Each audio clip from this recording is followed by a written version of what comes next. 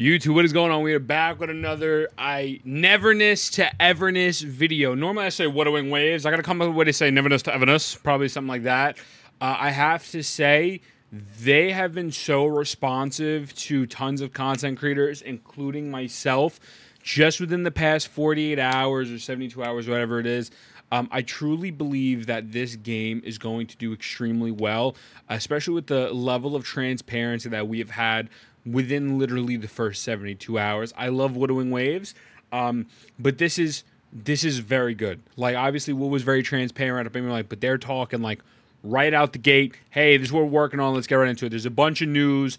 Their website is up. You can officially pre-register. I'll leave this to a link in below, and they do show you the characters.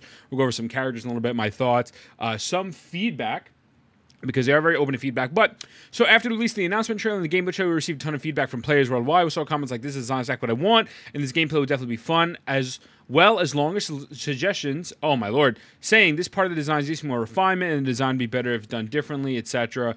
Uh, all this feedback is very valuable to us, and we appreciate the players' trailer, etc. So they're going over their future plans. So let's break these down. Uh, let's see if I can do this this way, and you guys can still read. I think you guys will be able to read that, right? So uh, here, maybe I could do this if anything. Uh, bam. Maybe this make it a little bit better. And okay, cool, cool, cool, cool, cool. So, first thing is optimization. Now, I will say the, the, first thought that comes to my mind is a this is already confirmed to be a PS5 game, which is very nice. Obviously, that's a massive, massive W's on the shot. But if I don't know if this is going to go down the traditional mobile um, route for gacha games, and I feel like a lot, a majority of the income for these gacha games come from mobile communities. So this game being made on Unreal Engine five uh, is really dope. No open, like completely open world from what we've seen. Very minimal loading screens. I am nervous about people's phones and if this will potentially affect the actual revenue of the video game. But that's that's like just it is what it is. Like that's just something that's gonna have to come along with the game, and they'll have to figure it out. So. Question I'm very excited about, uh, but also worried about the optimization using Unreal Engine 5. Will the game be well optimized, especially for mobile play? Optimization for multi platform is a key focus for us. We have received our concerns about mobile adaptation. Rest assured, we will do our best to ensure a smooth experience on mobile cloud, minimizing the quality gap with other platforms. I mean, that's really all they could say. Uh, they really, they really can't say more than that. You know, it's not like they have a definitive. Um, you know, what what else are they gonna say? You know what I mean? So like that's that's cool. I love that, um, and I believe it. I believe it. I think so far from what we've seen, the game looks pretty well refined. We'll go over some stuff in a moment, but the action system. The action system still lacks polish, especially the running animation, which looks weird. We've seen a lot of feedback from players that the lack of smoothness in character movements, such as running and getting in and out of vehicles. We've already started further polishing details on the action system to bring everyone a better exploration experience. Um, I I didn't think that it looked too crazy, but maybe I was just so hyped to the point where I genuinely didn't notice if it looked stiff or whatnot. Um, we, we could pull it back up again to look at it, but I, I didn't find that anything came off really stiff. Look, let's just be very transparent with you. Um, I liked TOF. I did. I really liked it for what it was. And if honestly the optimization was bad, I would still play it. Which actually, then I'm going to re-download it tonight. We're going to give it another shot, and make a video on it. Um, I think it looked good. I think it looked smooth, and I think like I didn't see any clunkiness to it. But we'll review the footage again after in a moment. But hey, listen, if people are seeing that and I'm not seeing that, the, and they're listening, that's good, right? So it's awesome. The biggest shortcoming to the trailer seems to be the combat. Target interactions and other aspects are lacking. I, I don't know how we can come to this conclusion because we, we haven't seen that much combat, but they're addressing it. So, as a supernatural world combat based on Esper abilities and anomalies, I assume their skills and ults, is a crucial aspect for us. We've received to carefully summarize your feedback on combat interactions, targeting effect, uh, targeting effects, and other optimizations suggested based on the trailer. We're currently working hard on these optimizations, so please rest assured. UI uh, current UI does not match the game's tone. Comprehensive opt. I, I don't know, man. I really haven't. I didn't have an issue with any of this. I'm not gonna lie to you. Like, I think the UI is pretty simple, and I think it's just realistically a carbon copy of Genshin and Wuwa's UI, and I think that's good because when you're in a game like this, you want it to feel familiar. I don't know if maybe like the font or like the, the squares maybe feel too serious. I don't know. I, I don't know how you can really complain about the UI. Maybe they were talking about the car UI here. Um, this feels like Grand Theft Auto to me. It feels like a Grand Theft Auto UI, and I don't think that's bad. So I, I really don't see anything wrong with the UI. Uh, that I wasn't really seeing. But, you know, again, people are pointing this out. Uh, I, I didn't see it, but we're going to keep it going. So, first panel, solid. Let's download this image. I should have downloaded this before, but whatever. What can you do? Whatever. So, okay, bam. So now we go over here, and this is uh, credibility of the single take PV. So the gameplay trailer promises a lot, but what? But I want to know: Can the game really be played seamlessly from start to finish? We can assure you that the current content we have developed, including most of the gameplay shown in the trailer, can be experienced seamlessly. However, there are indeed a few story-driven gameplay segments that require loading screens. Objectively speaking, achieving 100% seamless loading presents, presents various challenges in game development, but striving towards the goal and ensuring an interrupted smooth gaming experience will always be top priority. I think the fact that the game seems to have such a large percentage of loading screens taken out of the open world, uh, going into shops, going into stores, going into your your house system, etc. To me, is already a massive W. transitioning into those cutscenes, right? Um, when when you are in a story based game like that, there's going to be cutscenes, and I mean like it excuse me, uh, loading screens, and I think that's okay. Uh, it's not like the PS2 loading screens are going to take a million years, or whatever. I, I, I honestly am not really worried about that, and I just think that it's adds another layer of um, I was gonna say goodness. I, I can't come up with an analogy off the top of my head. I don't think this is bad. I don't think this is bad. I don't think this is something we should worry about. Like if someone's like, oh my god, they said there's no loading screens, and when I had to go into a, a, a boss fight, it loaded. It's like, well, that's not a big deal. Now, if if you have to go into a loading screen every time you enter your house, your car, the car station, etc., when it's being marketed and shown that you don't need loading screens for that, then that's a little bit of a problem. That's where you get into some like icky territory, you know? As Drake said, you know how sticky it gets? Yeah. All right. Vehicle and housing systems.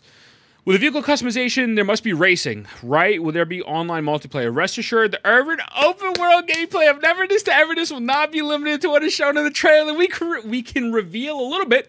Both vehicle and housing systems will have online multiplayer modes in future versions and related UGC, user generated content. Gameplay is already in the planning stages. Stay tuned. I will say this I had an ungodly amount of fun in the racing in TOF. It wasn't the most smooth by any stretch of the imagination. And honestly, I don't think the driving in GTA is that smooth at either. Uh, but it was a ton of fun. That I think TOF does, does very well with their events, and um, hearing that we have the chance to get racing is absolutely insane. I don't know what the housing system is going to be like. I don't know if like it's a Sims type system. I don't know, but the fact that they're like, hey, listen, look, this is eventually going to come, I think is a massive W's on the shot. W's on the shot. Nothing but positive stuff here so far. I really haven't found anything where I'm like, okay, this is like a red flag or this is something they need to address immediately. My assumption, my assumption is we can reveal a little bit. Both vehicle and housing systems will have online multiplayer multiplayer modes in future versions. My assumption is it will not launch with multiplayer, and I think that is okay as long as there's enough content in the game single player to hold it off for a couple months because it's probably not going to be like the first patch or the second patch after the game comes out, right? It's probably going to take a little bit to develop, especially because I, this is pure speculation. This is 100% pure speculation. I get the feeling we are in the territory of the game being closer to release than everyone else is anticipating. I don't know if they're going to do a beta. Uh, I don't know. I don't know how they're going to drop this. But if we're not that close to the release per se, then I think we are very close to a beta, whether it's closed or open. I just, I, I feel it in my left titty. Maybe, maybe I'm wrong. Maybe I'm way off base here. But again, when I look at the game, I look at something like, okay, like this is like this is good. Like this is bad. We need to see more, but this looks very fleshed out and it's dope. So, whatever. That's my rant. But that's great stuff. Character designs and model quality. The characters shown in the trailer didn't really appeal to me. The models seemed quite average. We received a lot of suggestions from player regarding character design and model quality, and we have taken them to heart. We are currently working on a series of optimizations for char- character rendering and design. We will also be introducing more new characters soon and welcome your continued valuable suggestions. Uh, while I pull up the characters from the website, I just want to say, um, first of all, I, I like I look at this, and I think these are beautiful character designs. I think they look good. Um, I think they stand out. I mean, like they do kind of have a little bit of like the same face. I'm not gonna lie to you, but this this gives me like a combination of like Honkai model vibes, like Honkai Impact model vibes, but then like the clothing of like a little bit of like um like Honkai and a little bit of like a Wuwa. Like I could see like this clothing being like someone in Wuwa. But I don't know. I don't think these models look bad, bro. I don't know. Like I just I don't think they're bad. I don't think they're bad. I don't think like these three characters in particular that were shown are the most mind blowing thing ever. It's like, wow, oh my god, that's crazy. But I don't think they need to be. These are probably going to be like the three standard characters that you get introduced to immediately in the game. But th- I think they're unique enough to the point where like I could see, okay, this is Nanally, right? Nanally, this is uh, Sakiri, and this is Mint. Also, what I like is that the names are not too complicated. I think that is a massive W, and I'm hoping that as the game goes on and progresses, they don't make complicated. Like, look, I love Wuwa, bro. Being the character name like Jishi or like Zhengli Yao and, and all this other stuff, it's like, there. Please, please stop. I'm too stupid for this. Please. So I, I, I also like I like the names, but I like the design. I don't think it's bad. But uh, stories. I'm very interested in the open world gameplay, but the story shouldn't be lacking, right? And a crucial question: Can the story be skipped? Uh, to avoid spoilers, we'll keep the story details on the wraps for now. However, we can assure you that the tone of our story is humorous, lighthearted, and whimsical, just as defined in the game introduction, a lighthearted comedy. We aim to bring you an enjoyable, anomalous adventure, and for the important question, uh, you can skip it. So, um, I like the fact that you can skip the story, but um, I I will say the lighthearted comedy I think is cool. Um, but I I hope that there is you know serious elements to it to the point where like it p- picks up and like oh wait a second. Like there's some massive consequences here if like whatever the case would be characters don't do this or characters don't do that or whatever you know? Like you see in the transitions it goes from really nice and happy day to it gets really dark. And like obviously you're fighting like a trash can or like like a vending machine or something like so obviously that's like not whatever like like that's not the most serious thing but the way that the atmosphere changes and the atmosphere itself when you're going into these combat it has a more heavy um i don't want to say dark because it's not a dark tone but it feels kind of like childish heavy. If i could pull up a, uh, a part of the video i'm going to try to pull this up on the other monitor. But point is i really don't want it to be to the point where like it comes off corny you know like it comes off uh, weird and to the point where it's like, oh, this is just ha ha he he. There's really nothing too crazy to it. That's what I don't want. Like if we look over here, there was the point where I'm gonna mute this for a second. Like some yeah, like this. Like I look at this and like the colors are still vibrant, right? But it's still supposed to be kind of weird and have a serious tone to it where it's like is that blood? Is that red water? There's like tables everywhere. There's like the moon. Like i i look at this i think of more of a like the lighthearted version of like acheron's like realm where it's like just all dark and stuff. So i just hope that there is some uh, seriousness to it as opposed to just being like a lighthearted comedy, you know? And then like the way that this is like it has like that darkness around it, or again when you transfer in between the different combat zones, like it does give a serious feel. So, um, listen, man. I mean, they they can't spoil anything, right? Like we have to wait and see. So that I'm cool with. So, test schedule.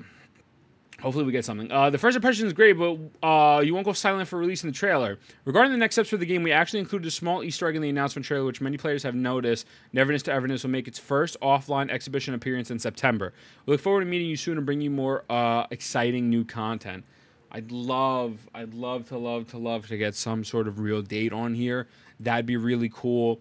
Uh, open world set, but yeah, cool stuff. You know, more stuff in September. I can't wait for September. Uh, open world settings. I noticed there was no combat in the city shown in the trailer. Does that mean that all battles are triggered in the inner world? About this question, you might have also noticed from the game introduction that this is a world where humans and supernatural beings are uh, inseparable. The anomaly space shown in the trailer is just a specific rule set of their particular anomaly. There are many other anomalies with different rules that can be encountered or fought in the open world. And thank you uh, for listening to us talk about so much. We have always hoped to bring some great ideas, making NTE the game you want it to be. We'll also bring a version that you can experience firsthand. We welcome everyone to pre-register and follow NTE on all social media and avoid missing updates. We look forward to seeing you again in September. Yeah, I think a beta is on the horizon, man. I think a beta. Obviously, like they're not going to just drop the game without dropping the beta, right? I'd hope they wouldn't. My bad, I cough. Um, but the one thing I would definitely say is an open world that looks beautiful and nice and everything is cool, but if there really is nothing to do in that open world, especially like the scale of like the buildings and whatever and like just the size of everything, if there's nothing to do, then it's then the gameplay value is going to go down drastically for a lot of players, including myself. I think there has to be stuff there to do. Like again, look, you look at this, you think of like GTA. GTA's open world has a million things to do. Now, obviously, GTA is a is a completely different style type of game, and I'm not saying like I want to go in and get like a haircut or like go to the gym like San Andreas or something, you know, uh, like with CJ and stuff. But I do think that the open world should have some sort of obviously they they've confirmed there is going to be combat in the open world, which is nice. But I think there should be like that umph. Like there's got to be something. There's got to be puzzles. There's got to be challenges you know, there's has to be a reason to explore everything and like hidden treasures everywhere, you know, like it should be it should be important.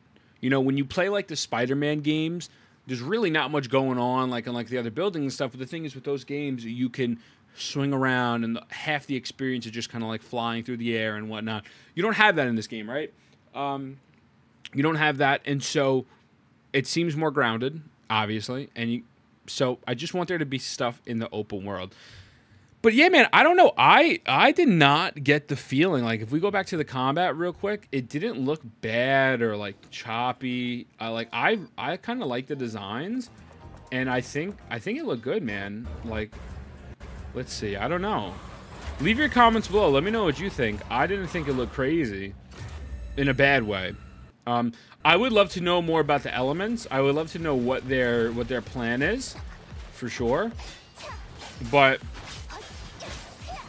like when I watch this gameplay, I see like the hitboxes connecting, and it doesn't feel like a really crazy floaty game like let's say like Kingdom Hearts 3 or TOF. Like TOF is very floaty, and you feel like you're doing no damage. Like I don't get that vibes from this video game, uh, from this gameplay. So I'm a fan but I do think there should be some depth to it, though. If it is just skill ult, the the again the gameplay loop is going to fall off pretty hard because the thing is with Genshin they have the elemental system, they have like elemental mastery and all those other stats and stuff. Wuthering Waves has the parries, the dodges, the intro, the outro. So I do hope that there is depth to the game and it's not just a left click skill uh, ult. I do wish and hope for some depth to it, and I really, really, really, really, really pray that they they launch with some sort of end game as well. Um, I would love a raid. I because I mean, hey, you know, TOF had raids. I'm just saying, but um, I just hope that something launches with it where it's more than just again running around, leveling your character, getting to 90 or whatever the max level is, and then after that, just killing everything. So that is my feedback, man. I think overall we're looking pretty good. And I really believe that this game has the potential to take over the space if it is done and executed in a way where the world is interactive enough, the combat has enough depth, and uh, there's just enough stuff to do in the game. I- am gonna put the story to the side for a moment. I mean, like obviously you want the story to be good as well, but I think from like a just a gameplay world perspective, like th- this is crazy. We we haven't gotten. Obviously, people compare this to Project Mugen and thought it was Project Mugen. We haven't gotten this type of take on the game on this t- genre with this, like in a city like this. So, um, yeah, I am very excited and I hope it goes well. I hope it goes well, and I'm going to cover as much as this possible. And when the game drops, like you know, the vibes will probably do like a 24 hour stream or some crazy stuff. So, that being said, I love you. Let me know what you think. I love your mother a little bit more. I'll see.